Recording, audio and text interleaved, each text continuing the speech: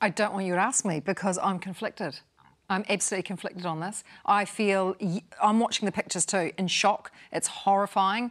Uh, something must be done, but I don't feel great about sending weapons offshore. I just don't. I feel that would have would have blood on our hands. Yet I'm sitting there thinking, what more can we do? This is terrible. Look, just like everybody else. Yeah. But I. And, but if anything happened to New Zealand, you want your neighbours to help you mm. out, right? So you can't give and not receive. And so I, am conflicted. I, I, am no. I don't want the missiles going. I, I, don't feel comfortable with it. I feel we as a country can contribute in another way, and I know people have pushed back against that, mm. but that's my heart.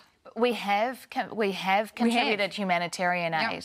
and other countries have too. But that is not stopping the war on the ground. No, it's no, not. But I, I just can't. feel like you've got blood on your hands. You're in. You're in. Then you're in. Yeah, I mean, it's kind of like it's, it's a no-win. It's, it's, in for a penny, in for a pound, though, isn't it? At this yep. point, um, you're either. It's awful.